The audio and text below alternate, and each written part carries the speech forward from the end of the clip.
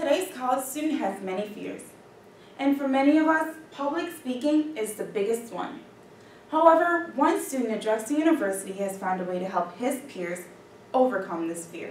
Just becoming better at speaking has unlocked so many opportunities for me. I slit the sheet, the sheet I slit, and on the slitted sheet I sit. I sit For Drexel University senior Danish Dhamani, public speaking was a force to be reckoned with. However, Dhamani took his experience and turned it into something positive. I came to the US four years ago. I'm an international student, and when English is not your native language, public speaking is very, very terrifying. Dhamani and co-founder Paritosh Gupta turned his experience into Orai, an iOS app designed to help anyone become an effective communicator. Orai uses artificial intelligence to give instant feedback on speech clarity, filler words, pace, and vocal energy.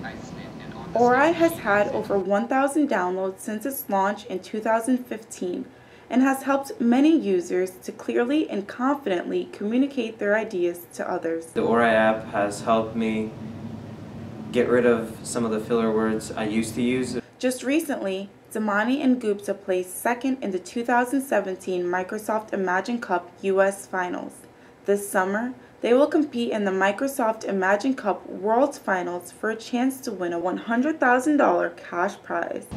Our goal is starting off small because we still need to refine our product. We still need to talk with our users and understand the features that we currently have. Are they solving your problem?